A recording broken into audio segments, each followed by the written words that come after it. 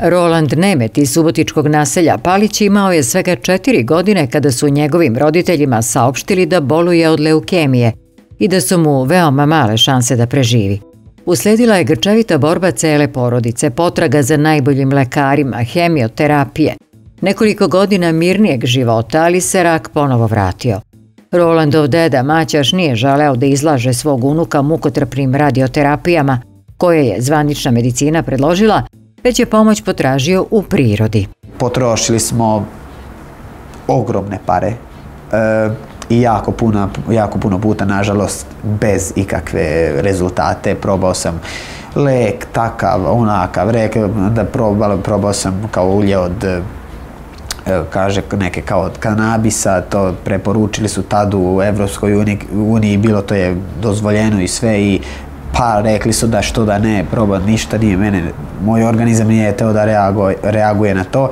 Kažem, znači sve i svašta što smo našli i na kraju krajeva stigli smo tamo e, kod ovog zelenog soka što i mi dan danas radimo i proizvodimo. Zeleni sok od žita za koje je Rolandov deda čuo od jednog mađarskog lekara bio je slamka spasa za njegovo potpuno izlečenje i kako se nakon tri meseca konzumacije ispostavilo formula zdravog života. Napravili su još jednom krvnu sliku, to je veliki labor, se zove to, i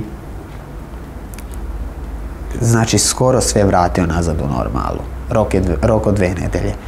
Kaže ovaj doktorica da ona ne zna šta smo mi radili, ne zna ni kako smo radili, samo da nastavljamo dalje. Rolando, sada 70-godišnji deda, je upravo tako i uradio. Nastavio je dalje.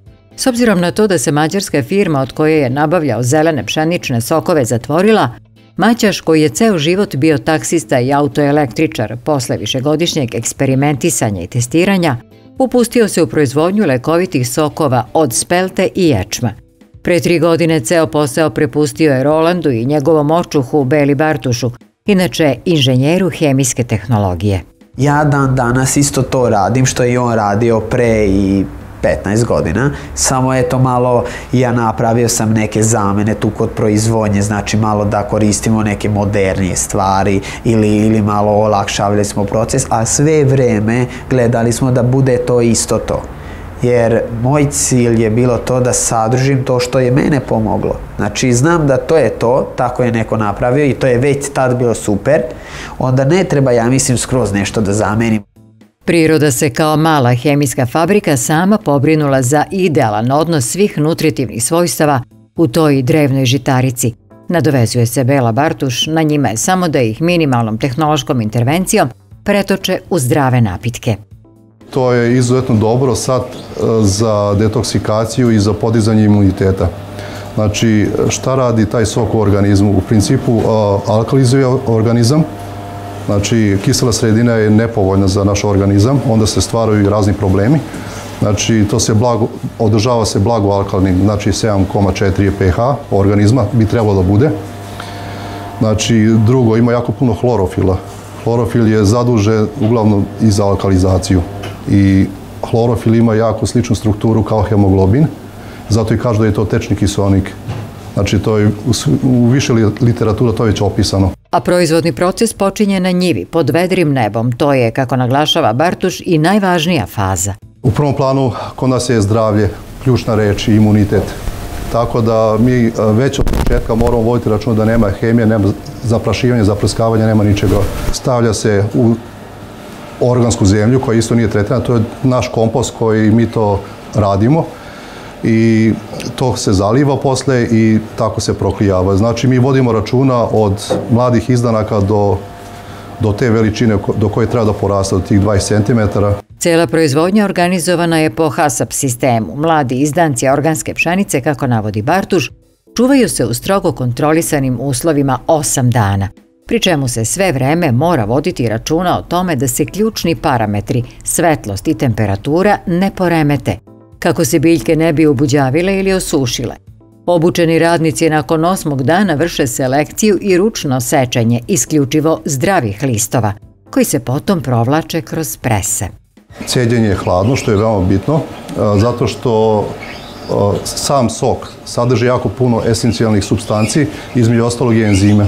Znači ti enzimi su nama u organizmu jako potrebni i oni su jako, jako osjetljivi. Znači ako se cedi, gdje se oslobađa temperatura ili sa predgrejavanjem, ti enzimi se neutrališu. Znači da bi se to izbjeglo, vrši se hladno cijeđenje. To je veoma, veoma bitno. Znači mašine se ne smiju pregrejavati i nema uopšte termičkog tretmana.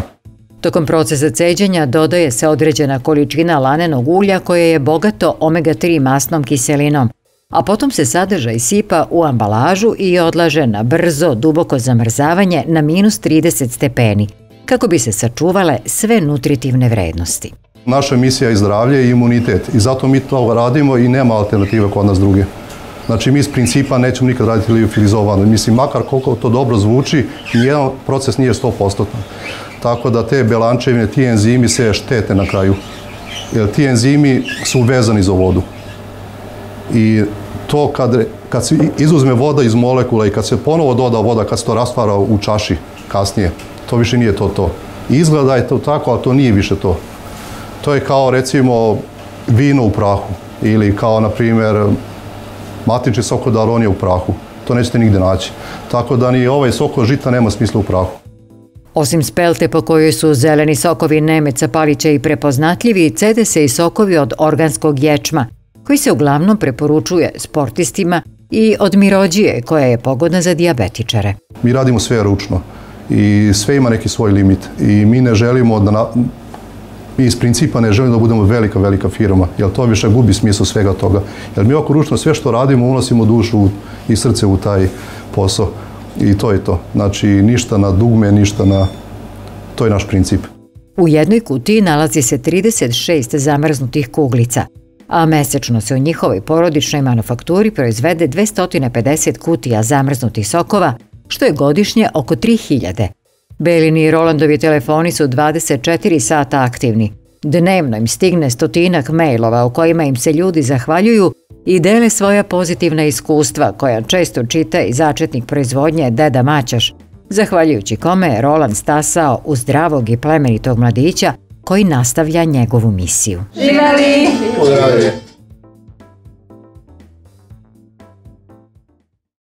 Domaćin će svaki znati, dobar savjet se isplati sa novog portala Vreba, savjeti sa agroneba. Posjetite ovog trena i nestaće ta dilema.